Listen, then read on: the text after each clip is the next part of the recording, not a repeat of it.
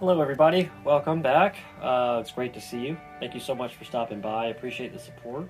Um, Roo uh, also agrees with that, huh, Roo? Yeah, what you said, Roo? You was just saying that, huh?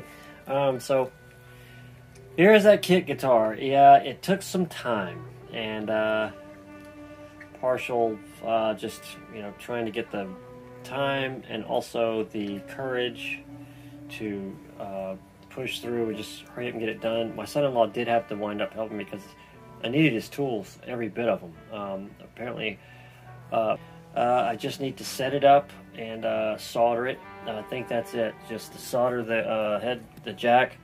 There was some issues with uh, the um, with the veneer uh, with my painting skills, so or staining.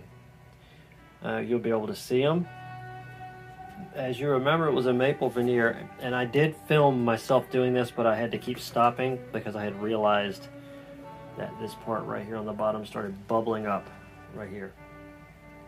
So it sticks up. Like, you can hear it like potato chip almost. And uh, now I'm not saying that it's a flaw of the kit. Um, I read online that that is a possibility, the glue and all that.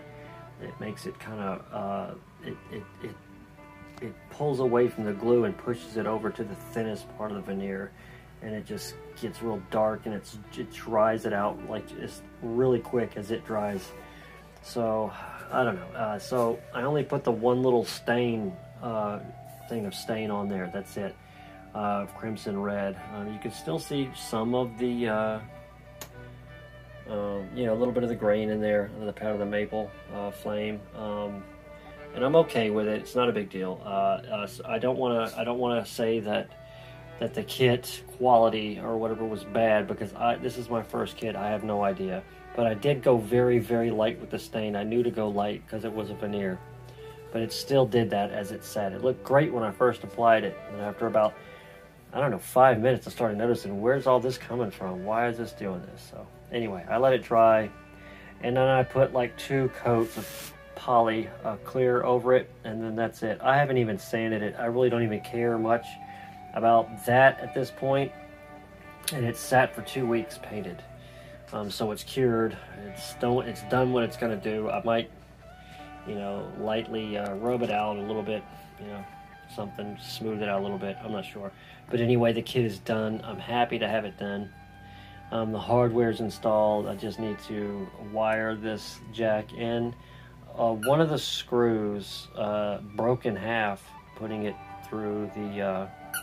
This ash is hard, and uh, it broke that little tiny screw there. So um, I haven't drilled any of these holes. I'm probably just going to have this one down there, maybe just probably just this one or this one, and then maybe that one. I'm not going to drill them all in. This guitar is going to be now, if it turns out this thing plays straight neck and it plays and I'm just like in love with it, yeah, I'll start, to, I'll, I'll do more with it. But this was my first kit, you know. Uh, I'm still excited and very fortunate to have won this, and I do appreciate it. Uh, I'm, like I said, I'm very excited about it still. It just took me a long time to get down to getting it together. Um, but here it is. I just wanted to show it and uh, apologize in advance that it that it took what almost a year um, actually a year uh, to put it together since I got it. So those uh, that waited, here it is, um, and uh, it's actually beautiful. I don't have the neck um, screwed in. I took it back off uh, because I had to go in and do other stuff.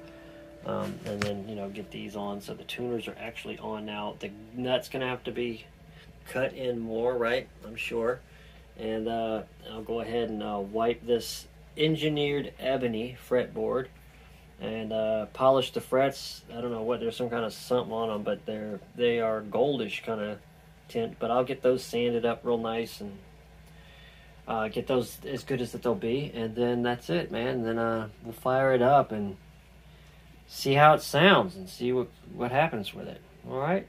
All right, guys. So thank you so much for stopping by. That's going to do it for this one. Just a little quick heads up. It's done. That's the ash body. Um, yeah, it's actually beautiful. Um, I really love it. Uh, maybe I can flip to show the other side here. Holding that. You can see the little bit of uh, sheen there on it on that bottom where I got that little bit of polish, a thin layer of poly in there. Yeah, a couple pieces there together. I really like it. I'm very happy with it. See, I got to get the springs on. Yeah, and that's going to be it. I'm not going to put anything on the back. I'm going to leave it like that. It's all natural. All right, guys. Whoops. Take care, and I shall see you on the next one. Peace.